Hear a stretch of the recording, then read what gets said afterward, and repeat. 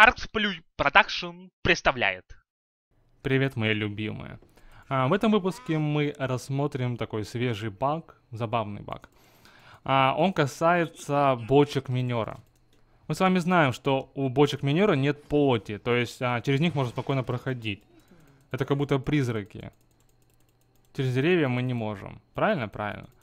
Так вот, в чем суть бага? Если мы ставим бочку прямо на пути у врага, мы сбиваем ему временно путь. Смотрите. То есть он начинает ее обходить. Бежит, например, Свен. Ставим перед ним бочку. Опа, видите, он спотыкается и, и обходит ее. Как это можно использовать? В первую очередь можно блокировать а, путь в узких местах. Чтобы враг развернулся и пошел обратно. Смотрите, допустим, убегает, убегает Свен не хочет умирать, мы кидаем бочку, он разворачивается, понимаете, он разворачивается и пошел обратно. То есть он пошел обратно, и здесь мы его убиваем. Вот такая вот интересная история.